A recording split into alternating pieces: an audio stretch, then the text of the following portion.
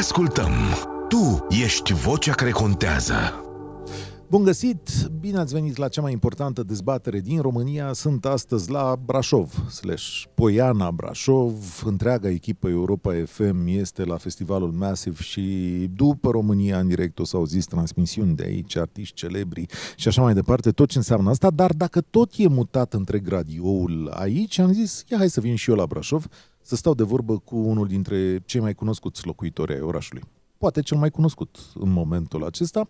Este vorba de uh, polițistul Marian Godină, influencer, de fapt, și uh, stând de vorbă cu el, uh, mi-a atras atenția asupra unui subiect la care, sincer, dat fiind vârsta mea, nu m-am mai gândit, dar el, fiind tată proaspăt, tătic tânăr, a zis să știi că ăsta e un lucru despre care vom vorbi. Salut, Marian, bine ai venit! Salut și mulțumesc pentru invitație! A fugit o oră de acasă, Marian, două, hai, o oră am permise numai. O oră ai permise. Trebuie să mă grăbesc cumva Da. să ajung înapoi. Da, o să facem atunci emisiune până la două, două și un pic.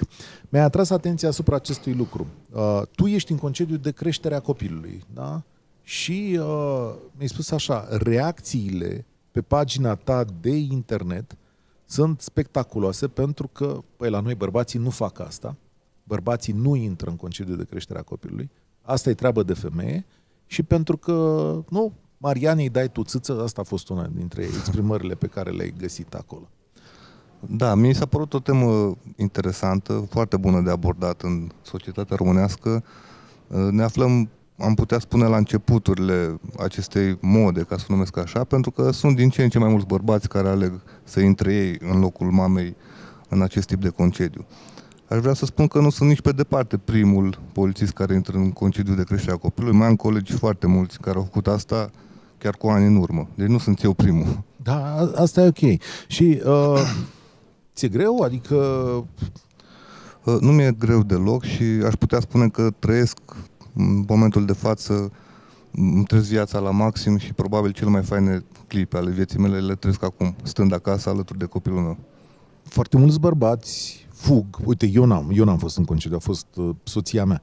Și mi se părea foarte greu, realmente, spun foarte greu. Copil mic, plânge, nu doarme, are colici, trebuie să stai mult cu el în casă. Nu mi s-a părut așa că e... Acum nici n-aș vrea să se înțeleagă ceva greșit. În mod clar, trebuie să recunosc asta și trebuie să recunoaștem toți bărbații că femeia nu va putea fi niciodată înlocuită ca mamă. E, e mult mai puternică decât un bărbat și rolul ei este mult mai bine conturat decât al nostru. Să nu-și închipă cineva că Marian Godin stă acasă cu copilul și mi-am luat sân din acela din silicon cu care se poate alăpta copilul. Deci rolul mamei tot Georgiana l are soția mea. E clar asta. Bun. E, noi, uh, studiind așa, după ce am vorbit cu Marian, ne-am uitat la chestiunea asta și am descoperit un lucru foarte interesant. De anul acesta o să intre în vigoare o legislație românească care face următorul lucru. Tehnic, îl obligă pe celălalt părinte, decât cel care e în concediu, să ia și el două luni de uh, Să vadă și el cu mine. să vadă și el cum e. Acum, sigur că e o legislație, o să fim onești unii cu alții, e gândită pentru bărbați. Peste tot în Europa și în România, asta e statul acasă, e treaba doamnelor și atunci astea două luni sunt gândite pentru bărbați să vadă într-adevăr cum e, să treacă prin chestiunea asta. Pentru, cum zice legislația europeană, drepturi și obligații similare. Exact. Pe, chiar m-am uitat după ce am vorbit cu tine pe tema asta și am căutat să văd dacă a intrat deja în vigoare și scria că rolul acestei legi este exact acesta, de a încuraja bărbații să intre și ei în astfel de concediu, pentru că mulți nu fac asta, mulți din cauza reacțiilor pe care și le-ar atrage din partea colegilor de serviciu, ca să fim sinceri, pentru că reacțiile nu sunt întotdeauna cele mai bune. Chiar în postările mele am observat că atunci când am primit foarte mult uh, hate din cauza asta, au fost foarte mulți bărbați care au ales să-mi trimită mesaje în privat și să-mi spună că și ei sunt în concediu de creștere a copilului. Adică n-au avut curaj să zică public. Nu știu dacă neapărat n-au avut curaj. Probabil n-au avut chef să, să-și pună lumea în cap acolo. Da, apropo, bun, a- aici e mediul online, dar uh, colegii de muncă cum au vorbit despre asta? Bun, ok, nu ești primul polițist, să mai practică chestiunea asta. Dar Da. cum să împarte lumea? Când... Bine, la mine nici n-ar, n-ar trebui să fiu luat un etalon, pentru că la mine o situație mai e specială, în sensul că eu atrag atrag reacții urâte și pentru simplu fapt că sunt, am devenit o persoană publică, iar mulți colegi nu pot să se obișnuiască cu gândul ăsta și atunci am mulți colegi care sunt invidioși, trebuie să spun pe față, iar acum că mai stau și acasă și mai primesc și bani pentru asta, invidia lor a crescut. A, toată lumea care stă acum acasă primește bani, adică fie că lucrează la stat, fie că lucrează la privat, fie că e polițist al natură, noi ca societate ne, ne sau acceptăm această obligație de a-ți da bani să stai să crești copilul, că și noi am trecut prin asta. Păi exact. Și aici a fost ceva interpretat greșit și mulți au impresia că eu stau acum pe banii românilor. În niciun caz, niciuna dintre persoanele care intră în concediu de creștere a copilului nu stă pe banii românilor, nici măcar pe statului, ci stă exact pe banii lui pentru, pe care i-a cotizat până atunci. Pentru că una dintre condițiile de a intra în astfel de concediu este ca în ultimii doi ani anterior datei nașterii copilului să fie obținut venituri impozabile. Eu vă propun să, să facem în felul următor, stimați ascultători de Europa FM, pentru că subiectul l-am dezvoltat în acest dialog, vă propun să intrăm în minutele următoare în direct. Plecând de la această idee care, din punctul meu de vedere, schimbă în oarecare măsură modul în care noi suntem obișnuiți și aici și în Europa de ani de, zi, de ani de zile. Din totdeauna e rolul femeii să stea acasă cu copilul. Așa a fost gândită treaba la noi. Schimbarea asta este întâmpinată cu oarecare ostilitate, iar acum devine și obligatorie. Știu că termenul, dacă intru în jurist, o să-mi spună domnul Silvia, nu e chiar așa, dar asta e, dacă nu te înscrii ca bărbat în mecanismul ăsta în care să stai două luni și tu acasă, tehnic soția ta pierde indemnizația, adică trebuie să ducă cu două luni mai devreme la, la muncă. Cum va fi cazul la voi? Adică dacă soția ta nu-și ia două luni de zile, ă, tu trebuie să te duci cu două luni de zile mai devreme la serviciu. E, într-un fel, îl obligă și pe celălalt să, să ia perioada. Între noi fie vorba, e mult mai ușor să mergi la serviciu decât da, da, să stai da, da. acasă cu copilul. Toți bărbații, acum, doamnelor, să știți că noi nu, nu suntem ipocriți. Toți bărbații cu copil mic își, toți, mulți bărbați copil mic își găsesc foarte mult de treabă în perioada asta. exact. Deci, auleu, am serviciu lung și complicat. Fii atent. Elena de pe WhatsApp, Andreea, stai o secundă acolo că imediat intri în direct. Eu sunt de acord cu această lege, zice Elena de pe WhatsApp. În cazul nostru, eu am stat primul an cu fetița. Ce spune? Și soțul meu cel de-al doilea. Adică ah, în momentul da, și-au împărțit. Și-au împărțit chestiunea asta, chit că Dan spunea, domnule, nu te cunoaște copilul. Este normal ca ambii părinți să se implice în creșterea copilului în privința angajatorului, în cazul meu, am fost nevoită să-mi schimb locul de muncă deoarece nu m-am întors după primele patru luni. Ce uh, mă scapă mie ceva din obligație? Probabil că a făcut presiuni. Da, da, da, da. Uite, dar Marian din Italia zice așa, eu am un salariu net lunar de 1300 de euro, iar venitul mediu e completat de alți bani din diferite bonusuri, diurne și așa mai departe. Dacă aș fi nevoit să stau două luni acasă, aș câștiga maxim 1300 de euro pe lună, insuficient pentru familie câștigi, de fapt, 85... 81% din media veniturilor pe care le-ai obținut în, ultimii 12, în ultimele 12 luni. Deci dacă bonusurile și diurnele tale și astea sunt trecute în contract și banii apar pe fluturaș, se ia un calcul, da. Se ia un calcul, deci teoretic ar trebui să iei în calcul. Sau poate cineva de la HR să mă... Bine, dar zicea că e în Italia, parcă. Da, acolo probabil tale, Da, posibil, da. Uh, cine e pe linie? Andreea, ziceam. Salutare, Andreea, uite, ne-au sunat doamnele. Ești acasă Bună cu copilul? Uh, nu, copilul meu este la grădiniță, eu uh, aproape ajung acasă. Uh, mi se pare foarte interesantă discuția dumneavoastră, mai ales uh, sunt multe aspecte de, de lămurit în această privință, dar ar vrea să uh, Uh, să evidențiez două dintre ele. În primul rând, problema banilor, așa cum a subliniat și uh, invitatul dumneavoastră. Uh, la mine, de exemplu, am stat în concediu de maternitate cu copilul un an și 11 luni. Soțul meu a refuzat să-și, să-și ia luna tatălui pentru că noi, ca și venituri, eu cu salariul întreg și el cu salariul 85%, uh, uh, am fi câștigat mai puțin decât uh, dacă aș mai fi stat eu încă o lună acasă. Și ăsta a fost cel mai important criteriu. Deci criteriu financiar, ca să... Da, din perspectiva asta, dacă să stea sau nu el acasă cu copilul, o lună de zile. Uh, în al doilea rând, aș vrea să specific că am văzut că sunt, uh, sunt anumite uh, neînțelegeri legate de uh, momentul în care ar trebui să intre în concediu de paternitate uh, bărbații. Uh, mamelor le este asigurat uh, o perioadă de 126 de zile postpartum uh, pentru a pentru a-și reveni, pentru a depăși starea de lehuzie. Deci niciun, uh, uh, niciun tătic nu va fi obligat să intre în concediu de paternitate din prima lună a copilului. Da, zi concediu de creștere a copilului. Da, se face o confuzie. Concediu de patentate e altceva, are o durată Sunt de cele- 10 zile numai. Da, cele și două, trei săptămâni care se iau imediat după creșterea Mm. copilului. Nu, imediat după nașterea copilului. Imediat după Uh, da, naștere, mă da. scuzați, am, am, am, Da. încurcat, am încurcat eu termenii, dar da, mama oricum trebuie să stea în, con- în acel concediu obligatoriu 126 de zile. Ok. Bun. Deci, în- Deci uh, să nu se mai sperie tăticii că nu vor avea Nu, un sunt contact 40 de unul la zile, unul scuză-mă. singur cu copilul. acum sunt 40 Uh, de nu, zile. sunt 126. Ok, rog pe cineva din HR, da. colegi și colegele mele știu că ascultă emisiunea, colegele de la HR, să mă lămurească dacă sunt 40 sau 126, că trebuie să recunosc că nu, nu stăpânim chestiunea asta. Dar aici, vezi, Și continuă-ți ideea, te rog. Uh, da, și mai vreau să mai lămuresc un aspect care mi se pare de fapt cel mai important. În uh, România, mentalitatea bărbaților este um, undeva că dacă, nu, dacă um, se implică prea mult în creșterea copilului, poate că nu sunt uh, suficient de bărbați. Ori asta este foarte, foarte greșit. Adică cei doi părinți au copilul împreună și uh, nu ne ajutăm unul pe celălalt. Suntem parteneri de viață, parteneri în creșterea copilului nostru, de la uh, o zi până um, la maturitatea lui și după.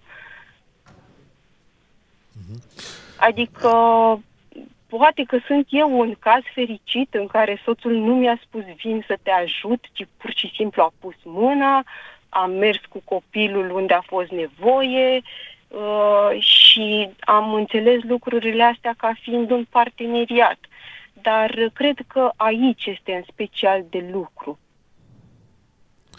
Uh, da, și să știi că astea sunt cazurile mai puține, că noi de asta am făcut uh, discuția asta. Uh, uite, mă lămuresc mai mulți uh, oameni și colega mea Corina și Radu Hosu al Brașovean.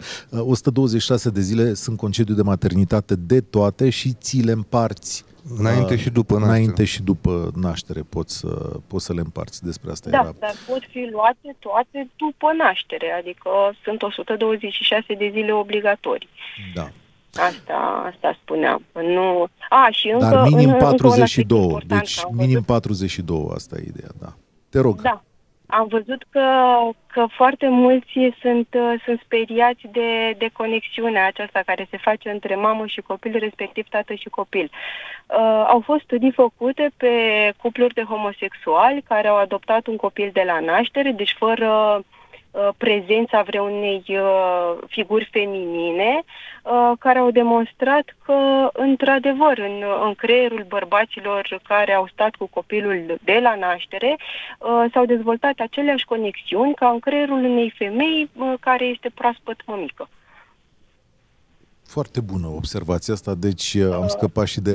Deci Uh, uh, și se- știința ne încurajează. mulțumesc tare mult pentru uh, mesajele tale, Andreea. Sunteți la România în direct astăzi cu Marian Godină, pentru că Marian Godină ne-a propus acest uh, super interesant subiect, plecat din uh, experiențele sale de viață și de Facebook. Uh, Pot bărbații, pot bărbații să intre sau ar trebui să intre bărbații în concediu de creștere a copilului? Uh, Pe Facebook o să vezi multe mesaje cu nu, de fapt, uh, asta Da? e.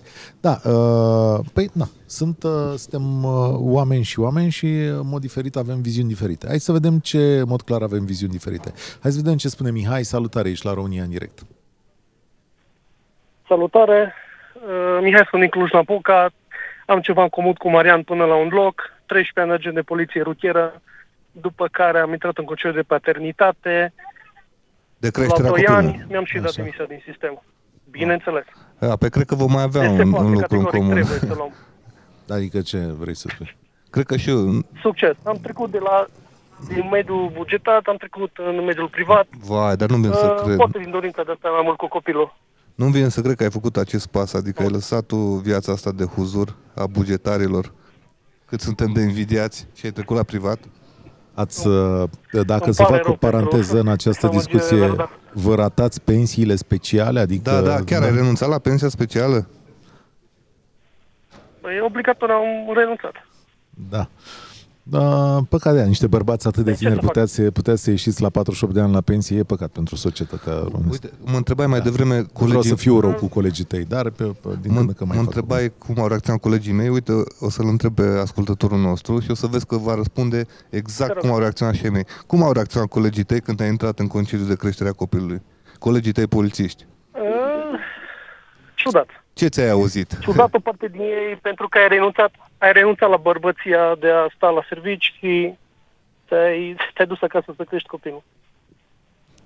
Adică e, Din păcate. ești... uh, Aici mi se pare că ești uh, ironic, poți să zici de-a dreptul ce ți-au zis, adică ca să nu, înțeleg. nu, nu. Da? Exact, asta am spus. Ce, așa, e un pic subiect tabu, dar din păcate n-ar trebui să fie. Și am auzit uh, co- colegi care au vorbit înaintea mea, spuneau că e obligație să crești copilul. E o plăcere să crești copilul, nu e obligație. Nu e un contract de muncă ca să stai acasă cu copilul. Până la urmă nu contează dacă câștigi cu 500 de lei mai puțin, atâta timp cât petrești un, un timp de calitate lângă copilul tău, lângă familie, lângă așa mai departe. Asta e părerea mea cel puțin. Da, trebuie să adaug că au fost foarte mulți care mi-au scris că tocmai pentru a nu-și auzi astfel de lucruri din partea colegilor, au ales să nu intre ei în concediu și acum regretă enorm și ar da orice să poată da timpul înapoi și să facă asta. Uh, da, Dar stați ba un... mai mult, să știi că am mai mulți colegi, mai, mai mulți colegi, uh, tot la fel polițiști, care au făcut exact ce am făcut și eu. Uh, Eu îmi dau seama că, cel puțin în lumea voastră, sigur, e un mediu bărbătesc, e un mediu uh, dur, uh, cel puțin în cazul tău, Marian, e un mediu care se lovește cu infracționalitatea în mod obișnuit, lucrați cu arme, cu mușchi, cu uh, tot felul de lucruri de astea care solicită... Mai, mai puțin cu mintea. Glu- Glumesc. da, dar nu cred că e vorba de, despre asta, chiar din potrivă. Adică din momentul în care tu ai început să descrii viața de poliție din interior, uh, cred că se vede o imagine destul de bună și destul de clară. Acum, nu știu dacă peste tot e așa, dar în general bărbații uh, vor ridica o sprânceană în astfel de, de situații. Spune-mi un lucru. Ce a făcut soția ta, pă, rog. Mihai, în, în perioada în care doi Soția ani... mea este medic, Așa? soția mea este medic, uh, după câteva săptămâni și-a continuat activitatea, ba mai mult decât atât, spunea un domn că el nu poate să, să intervină când hrănește un copil. Ba, se poate, îl pui frumos în mașină, Așa? în scaunel, mergi la cabinet să ne lucra soția, îi dă să mănânce, îl duci înapoi acasă. Deci se poate, orice se poate.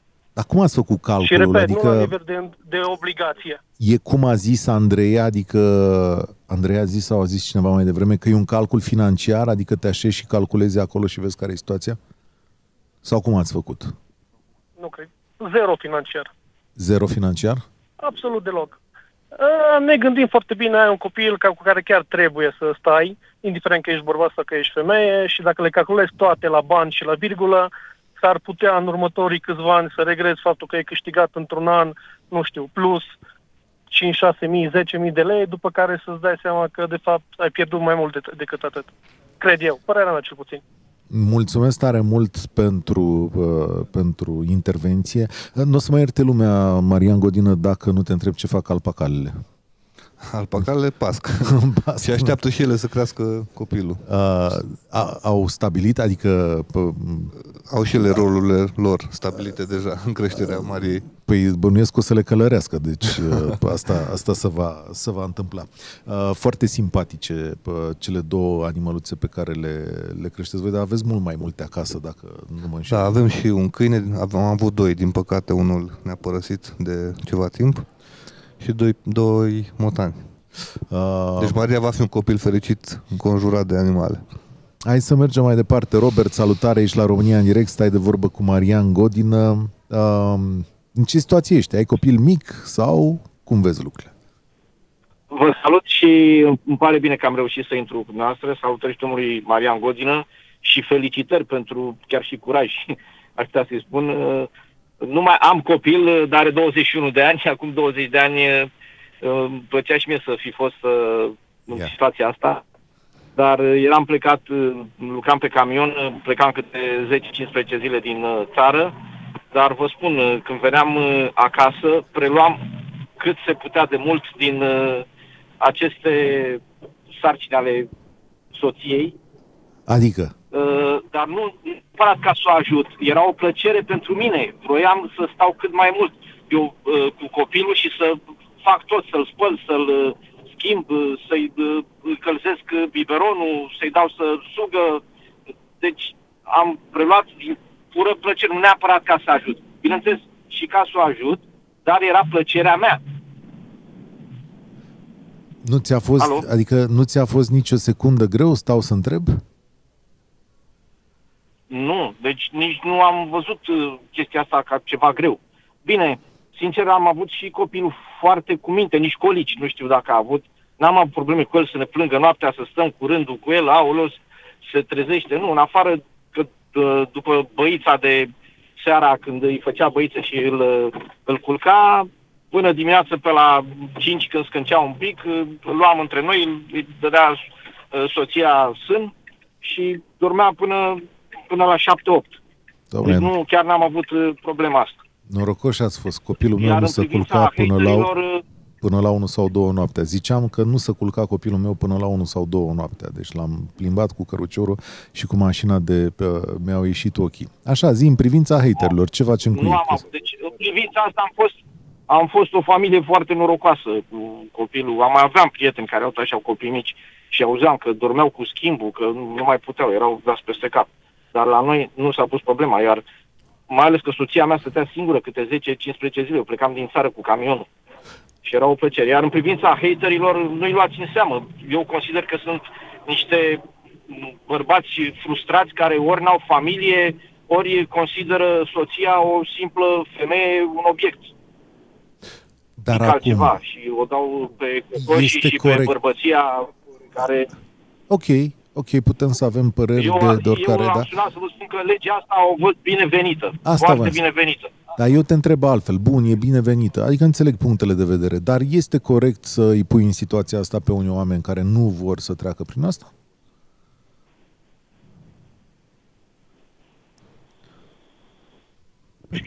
mi se pare o chestie frustrantă. Mi se pare o... Nu, egoistă mi se pare. Că nu vor să treacă. Mi se pare o chestie egoistă. Da. Ok. Cred că ăsta este cuvântul cel mai potrivit.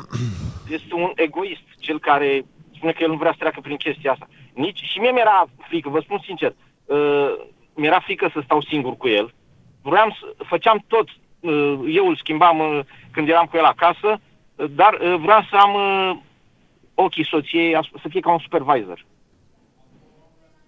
Mulțumesc tare mult pentru telefon. Nu am avut curaj să stau așa singur cu el. Eu cred că modul în care bărbatul percepe rolul său în familie este influențat cumva și de modul în care a fost crescut și de modelele pe care le-a avut. Ne scrie cineva care nu se semnează. E o doamnă. Uite, aș vrea cu permisiunea ta să răspund și da. unui comentariu de pe pagina de Facebook. Am intrat și aici.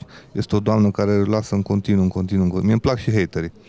Așa. Se numește Ioana Ana Unișoru, îi dau și numele pentru că bănuiesc că da. și-a asumat asta când a făcut public, care spune așa, Maria nu încearcă să explice, ci să ascundă că stă acasă din motive financiare. După ce s-a bătut cu pumnii în piept că de fapt nu e avantajos pentru el, în realitate este. În rest, poate să spună versi uscate. Să iei 100 de milioane pe lună sună altfel decât banii pe care îi lua când era activ, nu? Într-adevăr, chiar sună altfel, dar nu ia 100 de milioane pe lună. Și nici după cum am început când am început emisiunea, n-am ascuns nicio clipă că nu stau acasă și din motive financiare, ba chiar am explicat că unul dintre criterii este ăsta. Am făcut niște calcule și mi am stabilit cu soția că e mult mai bine și financiar pentru noi și așadar nu am bătut nicio clipă cu pumnii în piept că de fapt nu e avantajos. Ba da, este avantajos pentru mine, atât financiar, dar mai ales uh, pentru sufletul meu. Bine, stau să mă gândesc că ai făcut bani și dacă erai, că tu făceai bani și când te duceai la pe, Da, la dar mulți nu, mulți nu vor să, să înțeleagă asta. Eu la poliție am un salariu care în unele luni atinge 5.000 de lei, în altele nu, pe lună. Este un salariu acum fiecare îl vede în funcție de ce știe el că poate. Ăștia bani neți sau brut? Ăsta e salariul unui polițist? Am avut discuția asta, am mai scris odată că am salariul de 5.000 de lei și m-au certat unele sindicate din poliție. Uh, nu e salariul tehnic. Toate veniturile Toate tale, da. veniturile mele Da. lunare din poliție îmi sumează 5.000 de lei. Atât am intrat mie pe card, 5.000 de lei pe lună. Ok. Și pentru banii ăștia, dacă nu mi-aud în fiecare lună că stau pe banii românilor, că nu știu ce fac, că... adică nu e o sumă pentru care să zici că, mamă, banii ăștia în momentul de față în România trebuie să recunoaștem că îi poți face în orice altă parte, dacă îți place munca. Da, poți să facem privat. Luăm o pauză, sunt cu Marian Godină, avem un pic de pauză la România în direct, prelungim, Ana, știu că ești pe fir, Claudia, știu că ești pe fir, la voi ne întoarcem să lămurim această discuție pe care cei mai mulți vă o vedeți ca pozitivă, dar Uh, dacă nu intri la radio și scrii pe Facebook, mai apar și uh, niște semne de întrebare. Uh, ne întoarcem în câteva momente la România în direct.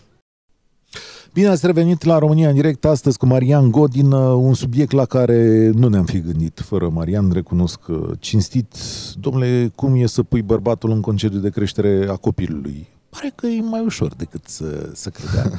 Uh, bine, sună lumea, cum ar zice unii oameni, sună să, și, să se și laude, dar n-are cum să fie la fel peste tot din moment ce legiuitorul a gândit că oamenii trebuie și obligați să treacă prin experiența asta.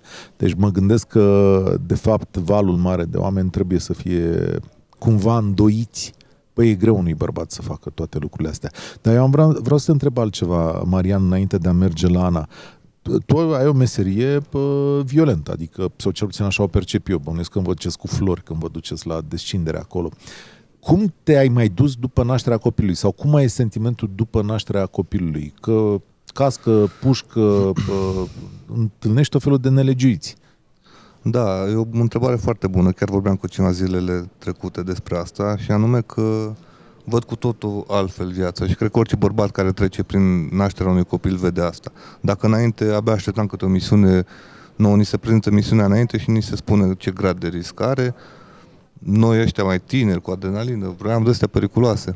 Ei bine, acum mi s-a schimbat mult optica și nu mai văd cu atâta entuziasm o astfel de misiune periculoasă, tocmai pentru că mă gândesc la copilul meu și la câtă nevoie are de mine, el și familia mea. Da, și ok. atunci mi-a apărut oarecare teamă, nu pot să-i spun frică. Asta nu înseamnă că acum nu m-aș mai duce la misiuni, că mi-ar fi frică. Dar parcă aș fi un pic mai rezervat. și parcă aș prefera misiunile alea despre care aș ști că se termină întotdeauna cu bine. Ok, mulțumesc pentru răspuns. Ana, salutare, ție îți mulțumesc pentru răbdare, ești la România în direct. Bună, bine v-am găsit. Uh, aș vrea în primul rând să-i spun domnului Godina felicitări pentru asumare, pentru că nu e o acțiune, este o asumare. Practic. Mulțumesc! Uh, și aș vrea să mai spun, domnule Stribla, speriați bărbații degeaba. Nu îi obligă nimeni la nimic. Legea aceasta, credeți-mă, nu ajută cu nimic femeile care sunt în concediu de creștere copil și nu ajută cu nimic familiile, chiar și în situația în care bărbatul ar vrea să stea două luni. Pentru că și până acum avea opțiunea să stea o lună. Acum doar s-a dublat numărul de luni, atâta tot. Da. Practic, ce face această lege este să oblige familiile să găsească o alternativă de îngrijire a copilului cu o lună mai devreme. La Cu un două. an și 10 luni în loc de un an și 11 luni. Acum cu două. pentru că îl pentru oblig. doar două luni, Așa. poftim? Zic acum cu două. Pentru unii oameni Pentru că sunt pentru foarte... doar două luni, da, știți câtă hârțogăraie se face pentru două luni pentru intrat în creștere copil, pentru ieșit din creștere copil, ca să nu mai spun că indemnizația vine la două luni după ce ai depus documentele. Deci, este doar ca să ne lăudăm că susținem drepturi și obligații egale. Dar nu, în practică, nu ajută cu nimic, uh, cum ziceam, familiile Păi și în și- cazul în care bărbatul ar vrea să intre în concediu de Păi și creștere cum ar copil. trebui să fie? Că Singura- sensul, nu, sensul nu. legii... Asta Sta, vreau să spun. E- Sensul legii este de a obliga, cum ziceați dumneavoastră, bărbații. Orice obligație este aceea dacă nu prevede sancțiuni. păi sancțiunea e că vă taie Știți? banii. Până la urmă, Adică adică dacă când... celălalt părinte... Păi nu, dacă celălalt părinte, cum spune legea, este ar fi obligat să intre în concediu de creștere copil, ar trebui să și fie amendat dacă nu intră, nu, domnul Godină? Dar dacă nu intră, ce se întâmplă? Pierde celălalt dreptul la indemnizație și la concediu. Exact, deci, Deci deci pierde cam- cam... părintele care și-a sacrificat cariera un an, doi ani, cinci ani mai pierde o lună de indemnizație. Da, așa e. Păi, e, e important, adică, bun, când și-a făcut familia diverse calcule, legea asta vine să te scoată Da. din calculele tale, adică tu aveai niște calcule financiare, emoționale și acum vine unul și spune, bă, nu e cât vreți eu voi. aveam un calcul că mă întorc... Nu, Da. deci eu aveam un calcul că mă întorc la birou când copilul face un an și 11 luni și acum mă întorc la birou când copilul face un an și 10 luni. Deci trebuie să găsesc bonus sau stresă, înainte și pentru tolerare, cu o lună mai devreme. Da, Asta dar e de ce singurul nu? lucru pe care îl face această lege. Uh, îl face, te aduce mai repede la birou, spre mulțumirea tuturor. De ce, de ce nu rogi pe soțul tău? Mulțumirea statului, onor statului român. Uh, de ce nu Mai rogi pe iertați, n-am soțul auzit. tău să intervină în uh, chestiune? Adică poți să-i spui, băi, Asta două... vă spuneam. Așa. Deci soțul meu, so- soții în general sau celălalt partener în general, avea și până acum opțiunea Da, da. să intre în concediu de creștere copil. Asta discutăm despre da, opțiunea pentru că asta. asta să se întâmple. Păi nu trebuie, auzi, o secundă, Opțiunea Ana, Este aceeași, este tot o opțiune și până acum. Ana, e o discuție între voi. Da. Sensul legii acesta e să se îngrijească și el de copil. Ăsta e sensul, sensul legii, adică Da. asta trebuie să stați de vorbă Da. între voi. Acum, tu ai vrea, practică, scuză-mă, tu ai vrea Sigur că să-l da. amendeze, tu ai avea să-l amendeze statul român pe soțul tău ca să stea cu copilul în loc să rezolvați nu, discuția eu spun asta doar între să nu voi? speriați bărbații să nu-i obligă nimeni la nimic. Asta spuneam. Nu e obligă, dar e, e, poate e obligați, bă, că Nu e discuția obligă. între... Scuză-mă, o secundă. Discuția între voi doi e. Nu că statul a creat o pârghie. Sigur că Acum, da, sigur că da. tu te duci, cum îl cheamă Vă pe spun soțul însă tău? că din punct de vedere practic, din punct de vedere practic, nu are niciun sens să faci toate aceste demersuri pentru doar două luni. Ok. În condițiile în Și care, atunci ce practic, trebuie în să alea spun? două Că e luni, un an? nici Sau ce? soția nu mai primește indemnizație și nici soțul nu primește indemnizația la timp. O primește două luni mai târziu. Păi, scuză-mă o secundă. Uh, voi, cu, înțelegeți? tu cum ai vrea să fie? Adică vrei să se rezolve problema de acasă, vrei să o rezolve statul, vrei să Păi vină aș vrea într-una? statul să fie mai eficient. Aș vrea statul să fie mai eficient, de exemplu, și Nu. să-mi înregistreze A- automat a- cererea de uite, intrare în concediu de creștere Scuză-mă, copil, eu îți spun, și așa adică mai departe. părerea mea e următoarea. Uh, nu cred că statul poate să facă mai mult decât face o familie. Decât ce? Statul nu poate să facă mai mult decât poate face o familie. Adică statul a făcut o pârghie, a făcut niște mecanisme, a dat un semnal în societate, dar discuția până la urmă tot între tine și soțul tău rămâne. Așa este, însă este doar un semnal, nu este o obligație. Eu asta vă spun pentru că știrea și anunțul acestei emisiuni a fost că, uh, domne, dintr-o dată s-a schimbat legea și bărbații sunt obligați să intre în creștere copil. Nu sunt obligați. Nu au fost nici până acum. Dar nu sunt obligați, am precizat de la bun început. Dacă nu intră, li se scurtează concediul sigur. femeilor. Da. Asta spun. Deci această lege nu vine în ajutorul cuiva, vine doar să pună familiile în situația de a găsi o soluție alternativă pentru copii o lună mai devreme. Păi, și din câte îmi dau seama, la voi nu vreți Da. să... La voi opțiunea ca soțul tău să fie acolo nu există și uh, Tot, soțul este tot timpul acolo. Deci, în, Ah, în ok. cazul meu în particular, soțul este tot timpul acolo. Nu vreau să fiu nedreaptă. Dar, pragmatic vorbind, nu funcționează ca pentru două luni să se facă atâtea demersuri birocratice. ok. Nu, a, întrebați câți părinți, câți stați au ales ultima lună, au ales să facă luna tatălui. Probabil că foarte puțin. Mă Și gândesc din că nou nu să vi se există o spună că din statistică, punct de că am vedere căutat. birocratic, nu există? Nu există statistica asta, Ar fi cam... interesant de aflat. Da, nu există Cât, statistica câți asta. aleg luna tatălui? Bun, câți și cum, alegeau până cum, acum ai, luna tatălui? cum ai prefera să fie? Aia, bine. cum aș prefera să fie? Nu știu, ar putea, de exemplu, dacă suntem parteneri egali, ca și timpul să se împartă egal, știți? Iaca. Bine, îți mulțumesc. Timpul de, adică E să și nu asta fie o ultimele rezolvare, două luni, da. Să fie ultimul an. Mulțumesc tare mult pentru prezență. Uh, acum, statul ce ați dori să facă? Să vă ia de mână? Vreți să vină cu amenzi? Discuția rămâne tot acasă. A, și dacă dumneavoastră vi se pare ok că soțul dumneavoastră vă, vă spune, bă, eu nu intru în luna aia la care îmi spun ăștia că trebuie să intru, că nu vreau eu.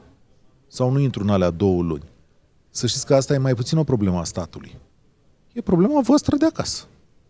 a, statul va crea o pârghie, să vedeți. Poate să existe și obligație, stați acolo cu amendă, dar vă întreb dacă e mai, mai bine așa. Uh, Vrei să zici ceva? Sau? Nu, nu, nu. nu? Uh, unde mergem? La Claudia. Salut, Claudia. Bine venit. Salutare, domnilor. Mă bucur tare mult să fiu cu voi și să discutăm pe acest subiect uh, foarte interesant. Uh, de când am auzit ce temă abordați, să știți că eu m-am entuziasmat destul de tare. Mm. Suntem proaspăt părinți a unei bebeluși de 3 luni și pot, să, pot spune că printre rusete și plânsete, colici, nopți albe, viața chiar este frumoasă. Iar soțul meu a participat activ la toate acestea. Acum, într-adevăr, tranziția nu a fost astfel de naturală și de ușoară ca în cazul meu, dar noi acum abia ne dorim acel concediu de două luni și vă zic și de ce, pentru că ne gândeam să facem uh, traseul Santiago de Compostela, El Camino, poate împreună toți trei să descoperim și sensul vieții. Uh, legat de partea financiară... Stai un pic, că nu înțeleg cum puteți să mergeți uh, amândoi deodată. Păi uh, eu sunt, uh, nu sunt angajată, sunt uh, ah, liber okay. profesionist, lucrez okay, okay, okay. cu un PFA și m-a ajutat foarte mult, mai ales pe perioada aceasta, știți și voi, a pandemiei și trendul acesta de a lucra de acasă.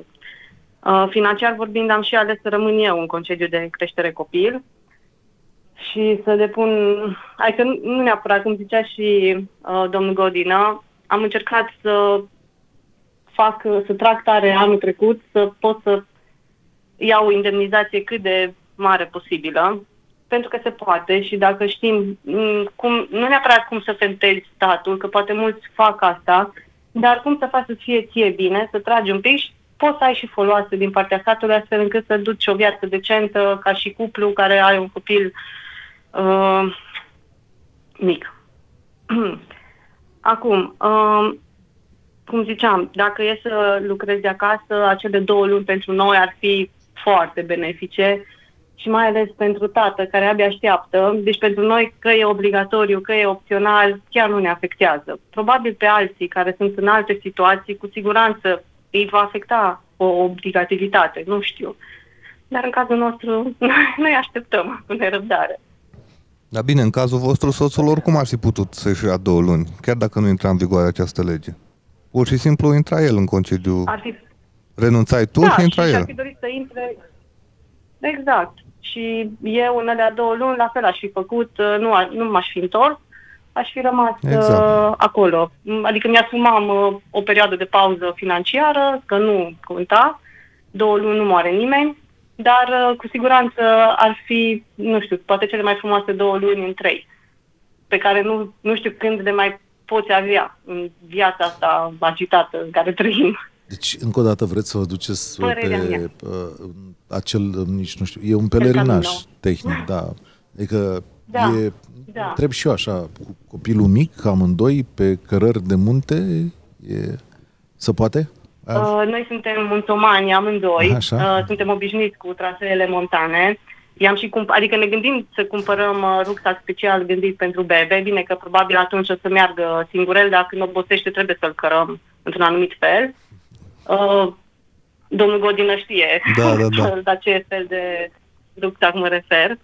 Și de ce nu? Uh, experimentăm viața la cort, viața în diverse cătune Există... în care trebuie să te cazezi și să te descurci. Există discuții în țara asta Poftim? despre copilul mic la restaurant, dar aminte despre copilul mic pe, pe drumuri.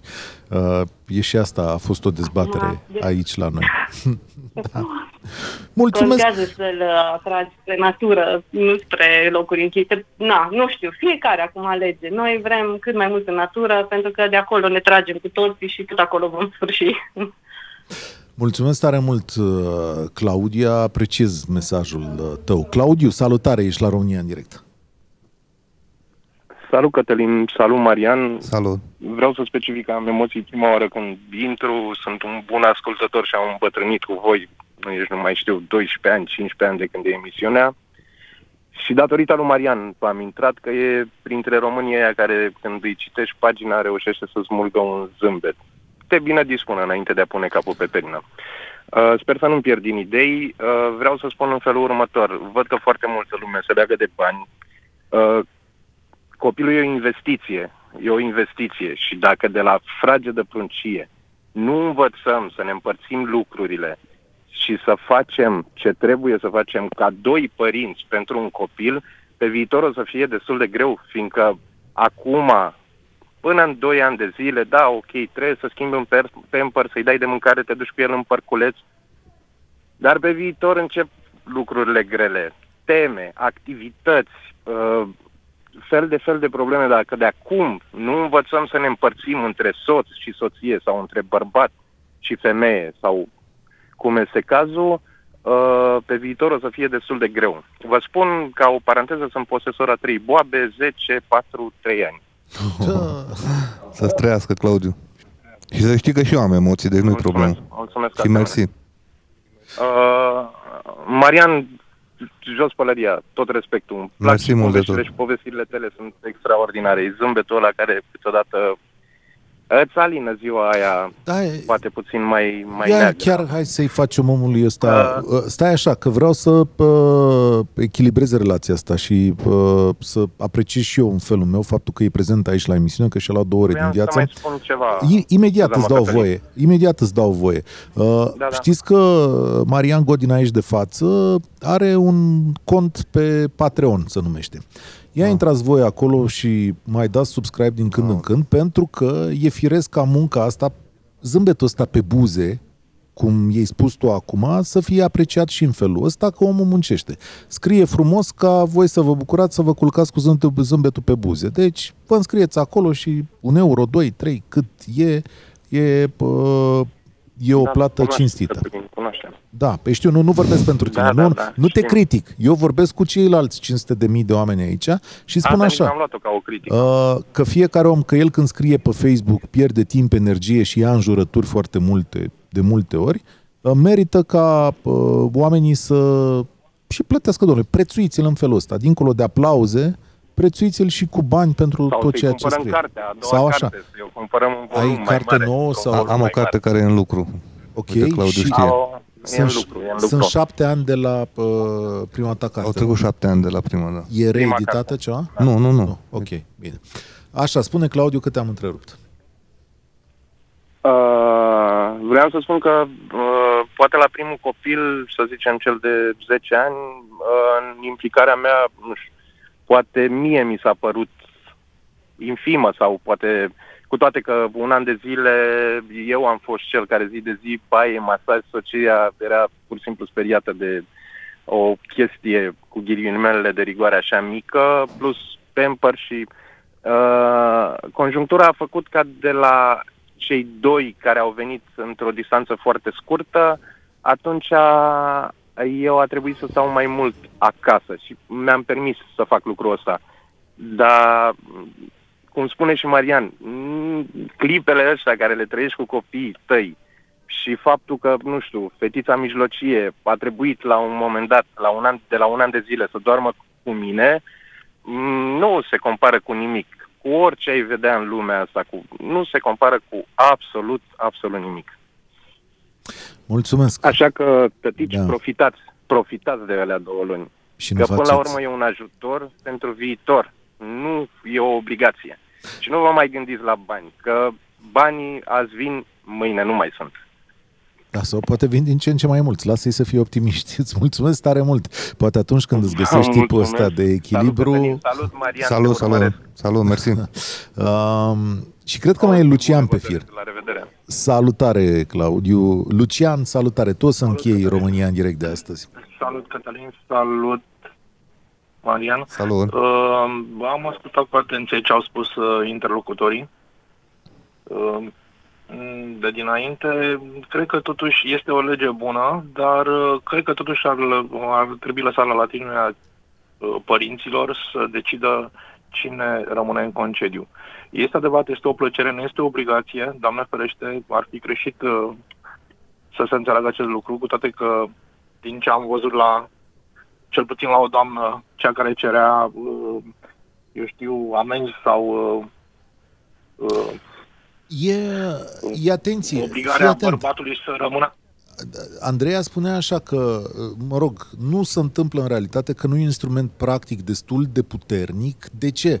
Pentru că da. foarte multe familii aleg în realitate să-și scurteze concediu, alea nu stăm 24 de luni, stăm 22, uh, în loc să da. participe și tatăl la chestiunea asta. Asta face legea asta și lumea zice, Băi, oricum sunt 22 de luni, e bine, lasă că face un an și 10 luni și uite ce bine e.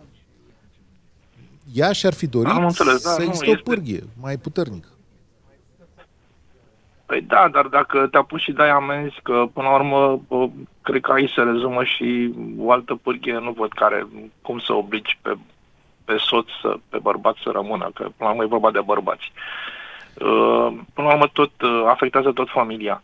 Iar, uh, repet, este, este o plăcere, nu o obligație, ar trebui să înțeleagă toată lumea treaba asta.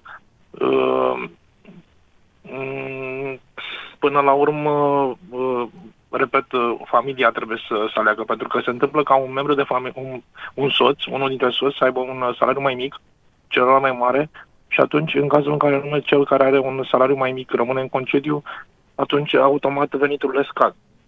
Și totuși, orice s-ar spune, unii interlocutori au spus că nu contează uh, banii, totuși cred că contează, pentru că atunci când ai un copil mic, cheltuielile sunt foarte mari.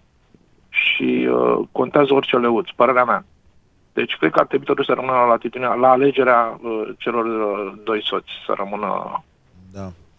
la alegerea lor dacă stau sau nu stau acasă. Este o lege bună, repet. Mulțumesc. Dar uh, da.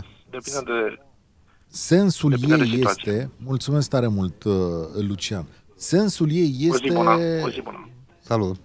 Ca tot mai mulți bărbați să participe la creșterea copilului. Ăsta e sensul. Familia va alege, băi, concediu mai scurt sau vine și bărbatul.